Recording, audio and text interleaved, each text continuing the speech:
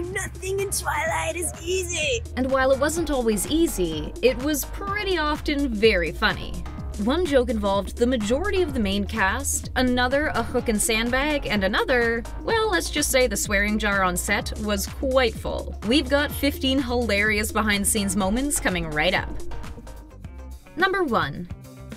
It's really not what you'd think it would be.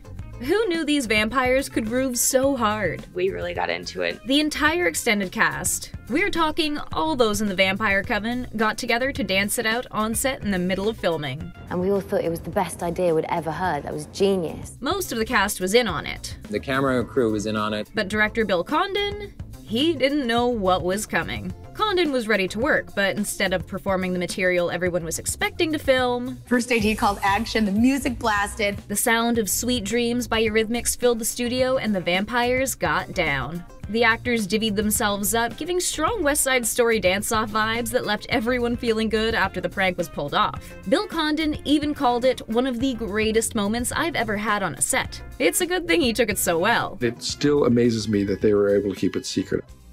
Number 2. Who doesn't like a little bit of romance? I did prank Maggie Grace.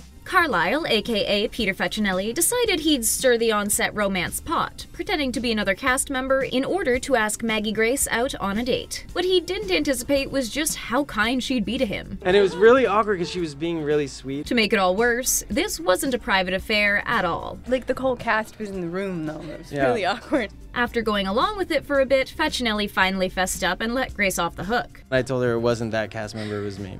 Grace did find the whole thing amusing in the end, and wasn't shy to whip out the sass after finding out just who was actually asking her out. Her answer was not up for debate. And then I was like, definitely no. Number 3. On totally dry land? How does that make any sense? Well, if you've ever seen fake rain on a set, you'll know it can be absolutely brutal. Sometimes even worse than a regular rain shower. I'm drowning. I'm sorry. Filming this scene between Kristen Stewart and Taylor Lautner was anything but enjoyable, especially for Case 2. this is ridiculous. Luckily, they laughed through it a bit, but it's clear this was a tough day. Especially considering just how many takes they wound up needing to do just to capture the footage needed. Number 4. Sometimes their best efforts didn't quite cut it. Cars and doors can ruin a shocking amount of takes. Stuck car doors got the best of Taylor Lautner and Kristen Stewart. As much as they tried to make it part of the scene and film through, they were fighting battles they were not gonna win. Not their smoothest moments. Somehow, filming some of the more dramatic moments on set failed to be tragic and instead were filled with laughter and shenanigans behind the scenes. An intense and serious emergency medical moment seemed like the perfect time for Robert Pattinson to practice his CPR with his on screen romance. He was having a great time. Stewart, on the other hand, not so much. Number 5. This joke fell awkwardly flat. Peter Facinelli was whipping jokes out left, right, and center, and when he stumbled upon a card in a store, he figured it would be the perfect accessory to help him execute his next prank. And I bought it and I signed it and I gave it to Rob. So, what did this card say? You are not what you do for a living. And the inside read, I hope someday you find the job that's right for you. Ouch. Fast forward to Rob receiving the card, totally confused as to why his co star was even giving it to him in the first place. And in the end, the payoff really wasn't worth it since it went right over Pattinson's head. And he read it and he was like, oh, thank you. he didn't get that it was a joke. What can we say? Not every joke is a winner. Number 6.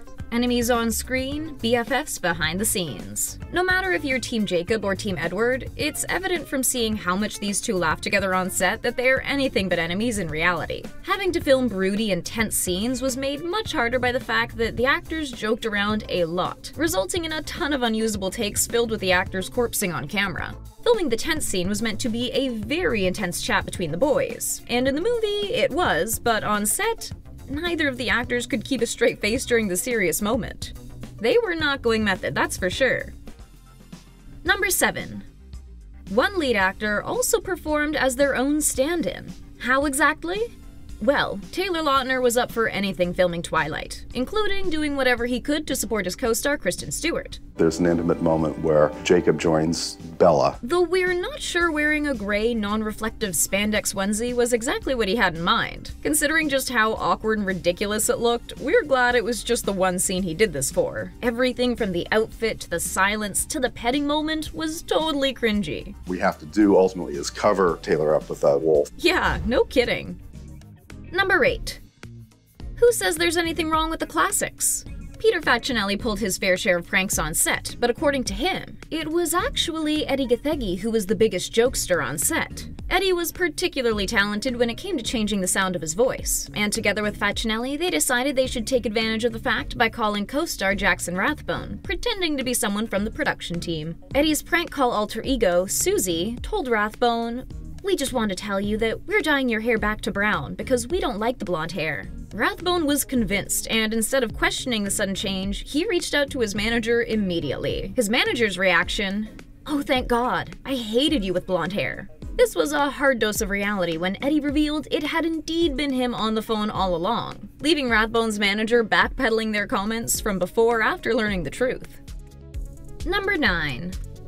People didn't always know which team they were on, though. The cast and crew were getting exhausted, loopy from hours of filming for days on end, so a selected few decided to liven things up a bit, attaching photos of different actors to people's backs. Charlie Bewley printed a photo of himself in character, wrote Team Demetri on it, and then made sure to stick it to Nikki Reed's back. And he got her good, since the actress didn't notice for hours. This set off a whole chain reaction, with photos that said Team Bella, Team Edward, Team Cullen, Team Jacob, anything you could imagine, stuck to the back of cast and crew members throughout the set. Number 10. And not in a good way. A jokester himself, Guri Weinberg, was the victim of a prank that got him good, and it was all thanks to a hook and a sandbag. A production assistant attached a hook to his coat, and then to that, a sandbag. Weinberg was busy chatting with Stephenie Meyer, and while Meyer witnessed the whole thing, she did not let anything slip, leaving Weinberg completely caught off guard when he stood up to walk away, only to be thrust back down in maybe the least graceful way possible. Always gotta be watching your back on these sets. Number 11. And then there was some swearing.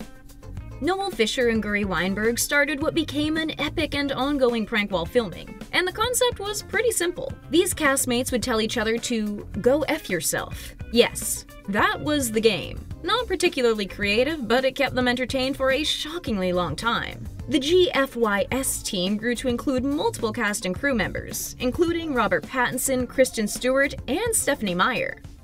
Number 12.